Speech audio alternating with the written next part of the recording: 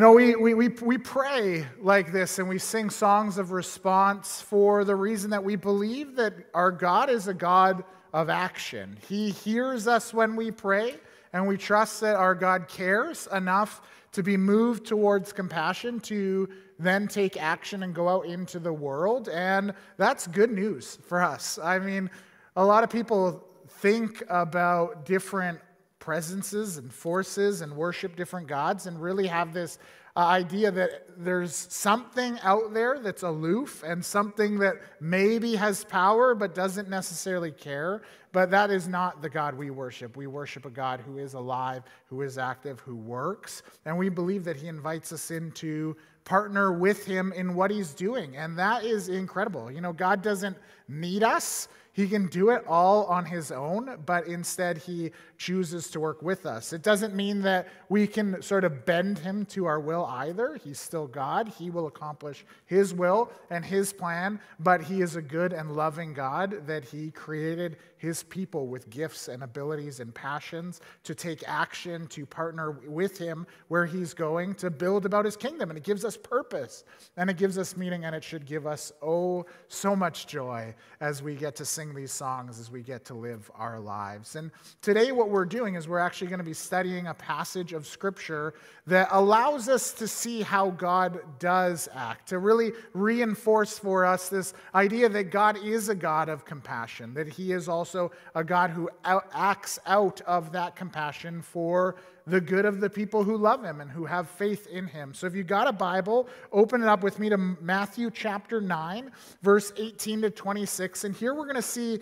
a, a, a, story of sort of two intertwined stories of as Jesus went about his time teaching and living on the earth. And here we see that he'll display his power uh, of life over death, his power of healing over a severe medical condition in one person's life. And we'll see that he not only restores people to society and to life, but to a life with him. And so this is going to be a good passage for us this morning. So if you got your Bible, follow along. If not, on the screens behind me, we're going to look at verses 18 to 26, where we read this.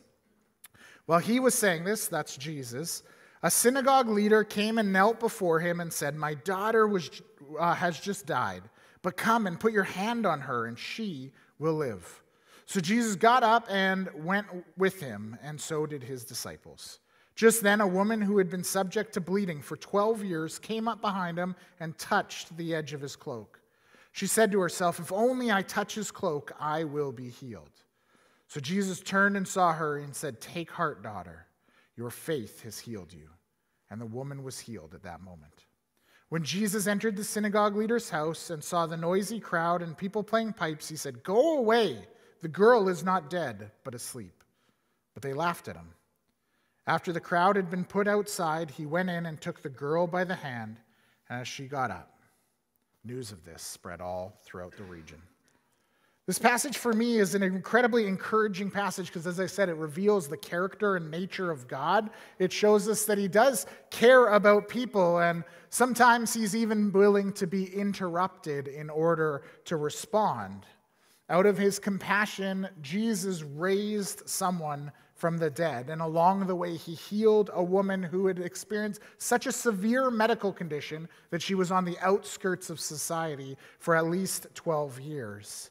I think this is the message that we need to hear today. I think a lot of us are facing a lot of things where we look at, at sickness and hurt and sadness and brokenness in our world. And, and we need to be reminded, as I said, of a God who cares and wants to be involved. And, and hopefully, by extension, those of us who are followers of Jesus will learn to pick up some of these traits that Jesus had, and we will respond to our world in the same way.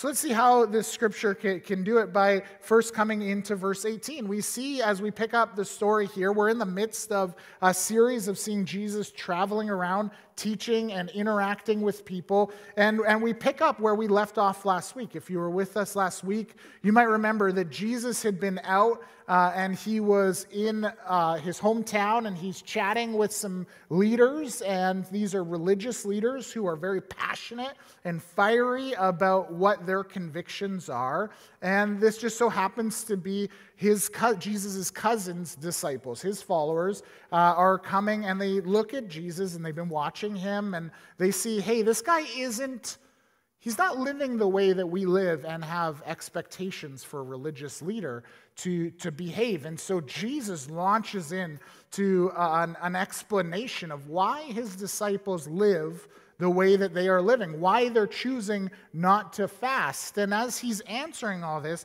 what he's in the middle of doing is revealing to the Jewish leader and to the people who are gathered around who he is. He's saying, I am God. I am very present amongst you, and you want to be with me. And in the midst of this, we have this interruption that we read in verse 18. We see that there's this prominent Jewish leader who comes from the outside and pushes his way, obviously, through the crowd and comes up to Jesus. Now, if we were to read one of the parallel accounts, and this is paralleled in both Mark and Luke, so if you want to go later this week to study this more, you can go into Mark chapter 5 and as well into Luke. You can find the story there. And we see that it, it's revealed that this is Jairus. This interruption isn't just sort of an average guy, it's the big guy. Jairus is the head of the synagogue, which means he is the pinnacle of the religious establishment. He is the upper 1% of the society by far, and he is in power. He's in control. He has influence. He's the guy you want to be beside in any situation because he'll get you through. And here, in the midst of Jesus saying who he is, Jairus comes up to confirm it. Now, this isn't really Jairus's uh, meaning or desire, we see why Jairus is really coming is actually for his family. We see that Jairus has come rushing up to Jesus because his baby girl is dying. He comes up to Jesus and says, Jesus, my daughter's dying. Please, please come lay your hand on her so that she can have life. Now we read it as well in Mark and Luke's account to find out that this girl is just 12 years old. And 12 years old is significant time for a young woman in this day and age. At 12 years old and one day, a woman is a girl now becomes a woman. And she is recognized as being in the prime of her life in their society. And so when Jairus comes up, he's not just coming up and saying, Hey, I've got this older daughter who's sick and facing difficulty. He's coming to Jesus and saying, My baby girl is in the, and she's dying, and I don't know why. And so he runs and he pleads with Jesus. And we see Jesus' response is not one where he dismisses someone who's interrupting, that he's bringing the revelation that he is God himself, but it's a response of love and compassion to someone who would call on him. As Jairus says, Please come, Jesus gets up and follows. And this is incredible.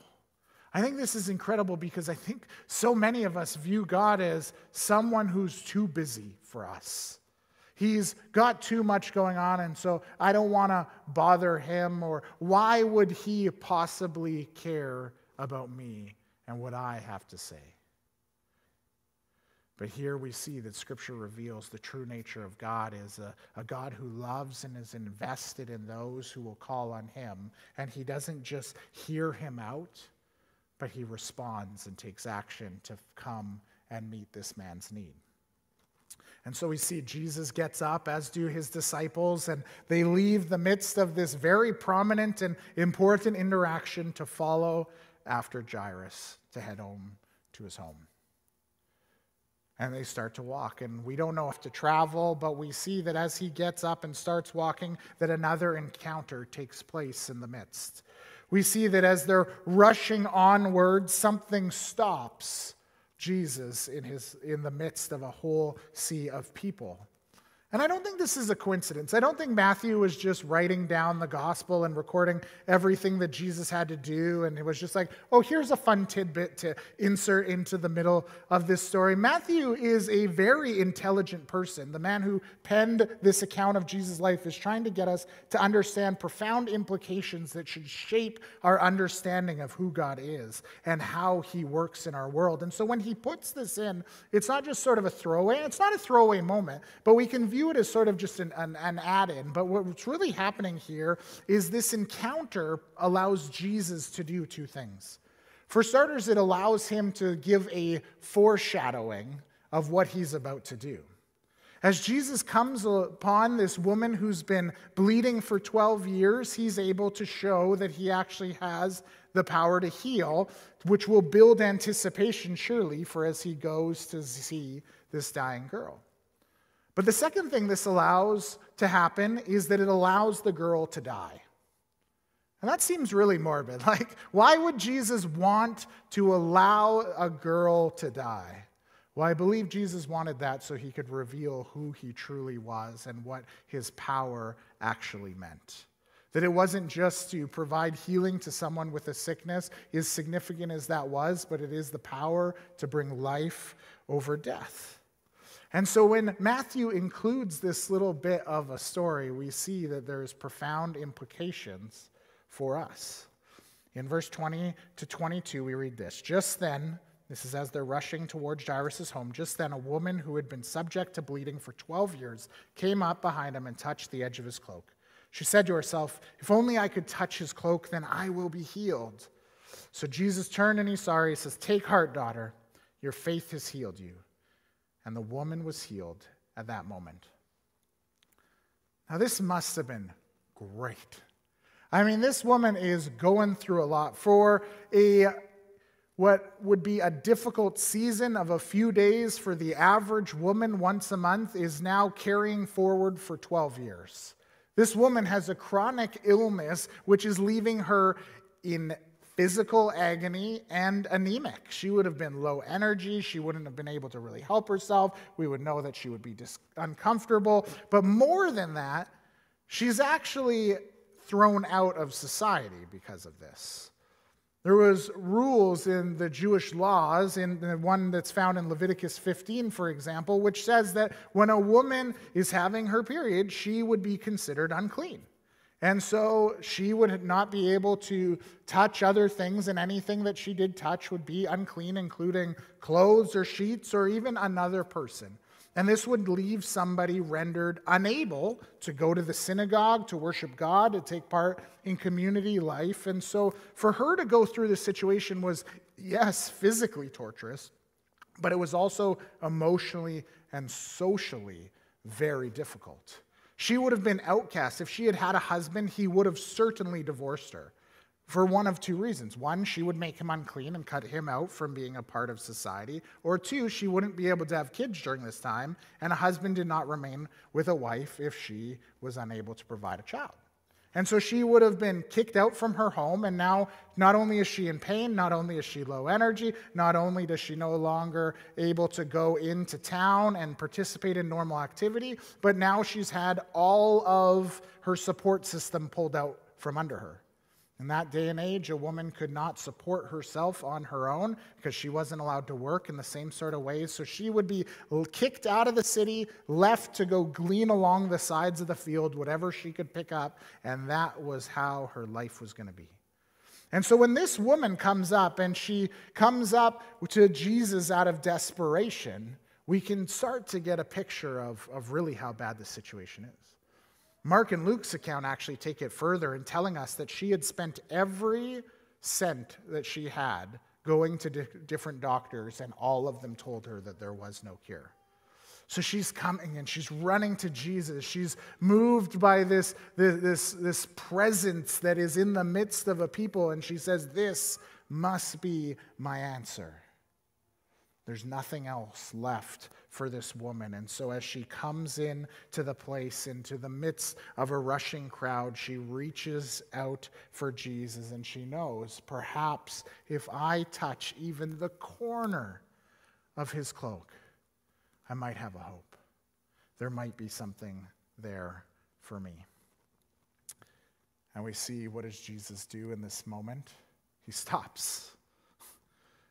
Again, Jesus is rushing life and death situation. He's already been moved by compassion of a father who has come to him because his daughter is on her deathbed, and he stops and he takes notice. Here's a woman who needs me. And he responds to her out of love and grace by providing her healing. And we see what once kept this woman from society, what kept her bound in physical agony, is broken free from her body. She's now free. She's now free to live a healthy life. She's now free to get to take part in society, to come back to her family and friends. She is now set free from a burden that she was told by doctors would never give her release. But because Jesus stopped, because he saw her and loved her, she was able to be set free. But what's even more profound, I think, than this is something that we don't catch in our English translations.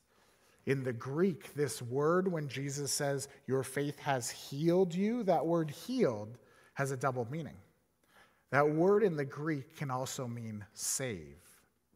And I believe this is very explicitly stated as Matthew comes in and he writes this account to tell us that when Jesus had this encounter with this woman, he not only came to set her physically, emotionally, and socially free, but he came to save her spiritually as well.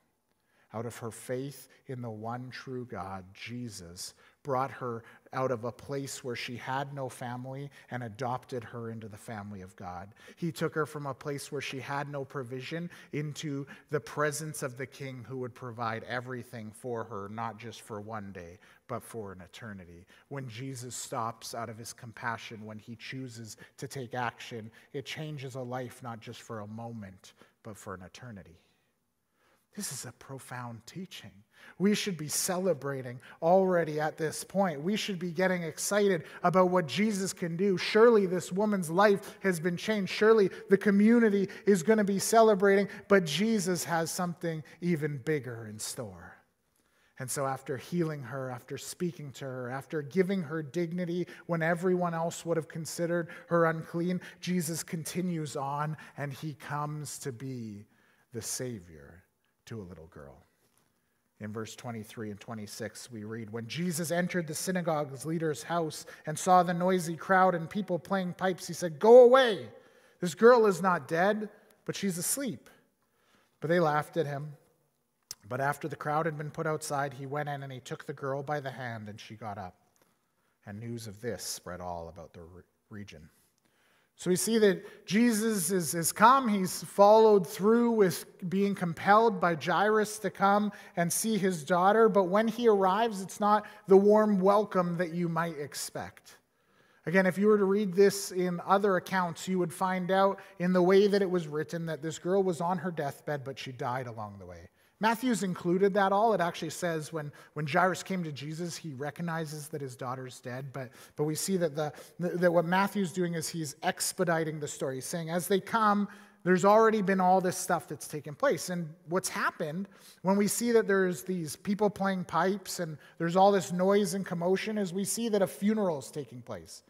Remember, we're in the ancient Near East. It's hot. It is scorching hot during the day, and if someone dies during the middle of the day, it gets stinky. It gets gross. Bodies start to decompose. And so, what they had was they had people on call for funerals. You didn't have a week or two weeks. You couldn't find the right day for family to come together to give a nice tribute to somebody. What happened was, as soon as someone died, a funeral had to take place. And so we see because Jairus was a man of influence, because his daughter had died, that the funeral had already begun to take place. And so they've hired in professional mourners. They've hired in these people who would, it was their job to come sit at a funeral and just wail and cry to emphasize the family's agony. There were musicians there to cover over, to draw attention, to allow this thing to take place. And so when they arrive, this is what's going on. And, but Jesus' perspective is far different. It's far different than the social custom of the day. It's far different from what the family who is there without Jairus seems to believe. While they believe that this girl is dead, Jesus said, It's not done. Jesus knows she's dead. I mean, this girl is not breathing, her heart is not beating, she is not on a lifeline. She's dead. But Jesus communicates in his words that there's something else. She's not fully dead, she's just mostly dead. This story reminds me of the great movie The Princess Bride. Anyone seen it? Yeah, I'm dating myself a little bit here. But I love this scene in, in the movie The Princess Bride with Miracle Max. What happens is the main character, Westley, ends up almost dying. He's dead. And his friend, Inigo Montoya, ends up scooping him up with Andre the Giant. I forget his name, but they, they scoop him up and they carry him to Miracle Max and say, There must be a miracle. What can you do for us? And Miracle Max looks and he studies Westley's body and he goes, Ah, well, there's good news. And he said, There can't be good news. He's dead. And then that's when Miracle Max responds, Hoo, hoo, hoo. The good news is he's only mostly dead. And there's a big difference between mostly dead and all dead. Mostly dead is still partially alive. With all dead, well, with all dead, there's only one thing you can do you can search his clothes for loose change. And then he gets to work. It's this great scene that shows for us that sometimes there's a reality beneath the surface, and sometimes there is a hope where there is seemingly no hope. And this is what Jesus speaks into the situation. He says, You look at this young girl, and all you see is death, but because of who I am, I see life. And so Jesus says, Get out of here. And they all laugh at him, right? Like, they're like, this is reality. This isn't a fictional story. This isn't the Princess Bride. This is history. People look at him and they say, This is a dead girl in the Middle Eastern heat. You didn't get here in time. Jesus, you're a nut job. Uh, Jesus says, No, I'm not. And he goes on to prove it. And clearly the family agrees. Clearly Jairus still has some faith because it says that the people are kicked out of the home. That these pipers and these mourners end up going outside, and there in the silence, in just the presence of Jesus, he is able to reach out and take a girl by the hand. And with that, he brings her back to life. Jesus takes what the world said is dead and brings it back to life.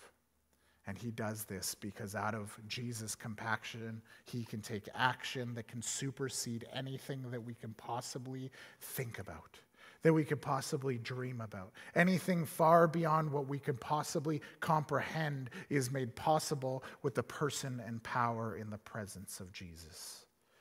And this was not just good news for a family way back then, but it's great news for us today because scripture tells us that before we come to faith in Jesus, every single one of us is dead in the grave. It might not be talking about physically, but it's talking about the reality that we all face that every single person from creation till now, till the day Jesus will return, that every single one of us is dead in the grave because of our sin.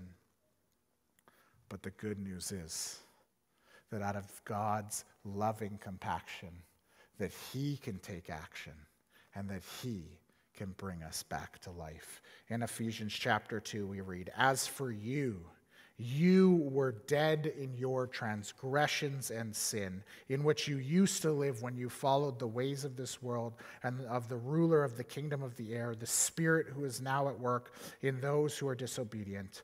All of us also lived among them at one time, gratifying the cravings of our flesh and following in its desires and thoughts. Like the rest, we were by nature deserving of wrath. But, gotta love this, gotta love these phrases in Scripture, but because of his great love for us, God, who is rich in mercy, made us alive with Christ even when we were dead in transgressions. It is by grace that you have been saved, and God raised us up with Christ and seated us with him in the heavenly realms in Christ Jesus, in order that in the coming ages he might show the incomparable riches of his grace expressed in his kindness to us in Christ Jesus. For it is by grace that you have been saved through faith, and this is not from ourselves. It is the gift of God, not by works, so that no one can boast. You and I, friends, were never able to save ourselves. We can't give ourselves CPR when we're dead, but Jesus certainly can come. He can raise us from the dead. He can restore us to new life. He can carry that on for eternity. He can shower us with his incredible riches, all for the purpose of his glory, because when God takes, uh, shows compassion, he chooses to take action. This is truly the greatest news that the world could ever receive. And if you are here today and you have yet to enter into a saving faith with Jesus, you need to do so now. You need to hear the message of what this story is trying to communicate, which is the reality of the life that you live. That without God, you are dead in your sin. But because Jesus came, because he went to the cross, because he died in your place, because he enabled you by his grace to have faith, if you would turn to him and say, Jesus, I need you to bring me to life, he will take what was once dead and give you new life.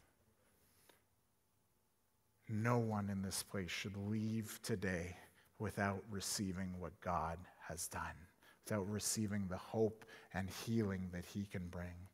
You can pray it where you are. You can have a conversation with him. If you don't know what to say at the end of the service, I'd love to meet with you up here at the front and I'd love to pray with you and we'd love to talk with you because we believe that the hope that Jesus can bring to your life will truly renovate you from the inside out and bring you so much healing and give you so much purpose and bring so much joy to your life. We need to receive the message of Jesus. But this message of Jesus is bigger than us, it's farther than us. Who Jesus is isn't just a savior to us, but he's also an example. And sometimes we forget that. Sometimes we go to Scripture and we study it and we look at the, the life that Jesus lived and the life these people of faith lived and went, wow, wasn't it amazing back then? And we forget that this was all also written down for Jesus, not just to be our Savior, to be people who are also moved by the compassion of our loving Savior so that we go out and take action. This is what our lives are won for. It says that we were once slaves to sin, but when Jesus receives us and brings us into new life, we become slaves to him. And that means that we participate in the work that God is doing for his purposes because that is what fully brings us to life. So, where are you lining your life up with the compassion of Jesus? You know, one of the things I think we sometimes do is we, we, we, we, we under spiritualize our life we start to sort of compartmentalize these different things and we say, well, church is over here, but the other things I care about are over here, and we separate the two. But I believe that God is very intentional in how He designed us and how He equipped us, and even the things that lay on our heart as burdens. A burden isn't always a bad thing. Sometimes what happens is as we look at the world, we see things that are, are broken and they're wrong and they're unjust and they're just not right. And those those are the things that as we look at them, God looks at us and says, That's what I want you to go be involved in. That thing, that person, that place, that project that you have passion for, those people you have compassion for, that is who I'm inviting you to go to. That's where I'm inviting you to take action in bringing about my kingdom. These two things aren't two different aspects of our life, but it's the whole of our life brought together when we see that out of compassion we should take action at the example of Jesus. So, what's your heart bleeding for? What's the cause that you see today that's driving you crazy? Is it for the people who are sick? Is it for people who are shut in? Is it for the addict who is experiencing the incredible crisis that we're facing in our community? Is it for the homeless? Is it for the hurting, the people who are experiencing injustice in some part of your life? What is it that causes your heart to break as you hear the news, as you see people in our community? What is it that is drawing you in towards God's compassion? It's going to be different for every one of us. We don't all have to have the same thing, but whatever that thing is, is a thing that should lead us to action. As you look and as you feel that burden, as you feel that twinge of angst and pain, what are you doing to step into it? What are you doing to embrace the call that Jesus has placed on your new life to go in and bring the message? Yes, none of us can bring the hope and healing that God can bring on our own, but God invites us in to bring his message to be bearers of good news. As we go and we meet the physical, the emotional, the relational needs, we open incredible doors to be able to share the good news of who God is. I'm constantly astounded by some of the conversations we get to have here at the church when we do things like the Red Tree Pantry. As we meet people who come in and they just need some, some groceries to help them get by for the month, we're able to open up some conversations that are quite incredible and profound. We've had opportunities over the years to pray alongside people to invite people to know who Jesus is. When we hand out those boxes, we get to put scripture in and we encourage people. I remember well, one gentleman uh, got a box and he came a number of months and, and we put a Bible in. And then the next month, we put a Bible in. And, and by the last time, he's like, You know, I don't need these Bibles anymore. Why do you keep giving them to me? I said, Because I hope you'll read it, because that is what you truly need. The groceries are here to help you get by to the end of the month, but that's what's going to get you by for life and eternity. And the incredible thing is that guy went away and he read that word and it changed his life. That's just one example of what we all get to take part in. It's not just what happens here at the church, it's wherever we are all compelled to go out of the compassion that God lays on our heart. And God will do it. He tells us he wants to see his kingdom come. He wants to see his will be done. He wants to see his name glorified, and he wants us to come in. So, won't we take action? Won't we get involved? Now, if you're here and you're saying, but I don't have something, Kyle. I don't have that thing that, that drives my heart towards compassion. Well, then my, the thing I would urge you to do is first and foremost be driven by the compassion of who Jesus is. If you're not a compassionate person, I don't think you fully grabbed hold of what God has done for you. God has done something so incredibly merciful and gracious in dying on the cross for you that that should inspire you to what's next. Grab a hold, read scripture, pray about it, wrestle with the Holy Spirit, invite Him in to convict you and to move you in the way that His heart bleeds. Invite the Holy Spirit for a heart for a certain person or people group or place or project and then be open to exploring and having conversations with different people and allow the stories that you hear to stir up your heart. And if you don't want to wait, just get involved. There's all sorts of places that we can be involved in the mission of God in our church, in our community, and around the world. There's all sorts of agencies and projects and places that have incredible things going on, and, and we can just go and get involved. And what I have found in my own heart is that I have gone on places where I've gone on mission trips and I've gone to serve places. And sometimes I know very little about the people group that I'm going to. But once I, someone comes to me and they say, Kyle, I just don't have the time or I don't know the place, I look at you and I go, then what are you doing with the gift God's given you? We've all been given the time.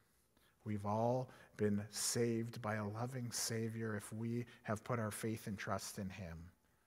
The question is, what will you do with that? Let's pray. Heavenly Father, we thank you for who you are. God, we thank you for what you have done in our world. God, we thank you for the story of how you, you gave hope and healing to, to, to that woman and to that young girl, and God, how you have restored their lives.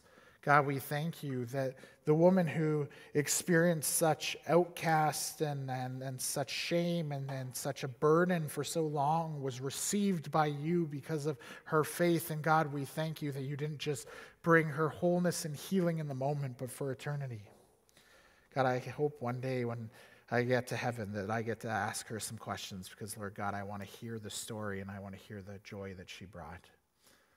But God, I pray that as people here who are gathered, who worship you, who have received what you have done for us, Lord God, that we would go and we would share those stories while we still live, that we would communicate the joy and hope and healing that you have provided to us as, as we are moved by compassion towards the people that you are calling us to. God, I pray that you would lay on every one of us a, a burden, a conviction for something where you want to use us. And God, would we be so emboldened by your spirit that we would step out and take part, and God, that you would bring hope and healing to those places in the power of your spirit, in your name, Jesus, for the glory of the Father.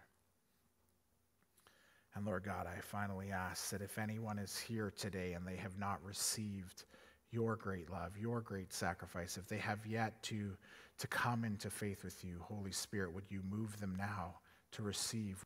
God, would you create in them a new heart? Would you restore them from death to life so that they can be a symbol, a, a life lived for your glory? God, we thank you that you are a God worth worshiping, that you are a God who cares and is active. And God, we thank you that you take action. We pray this all in the powerful name of Jesus. Amen.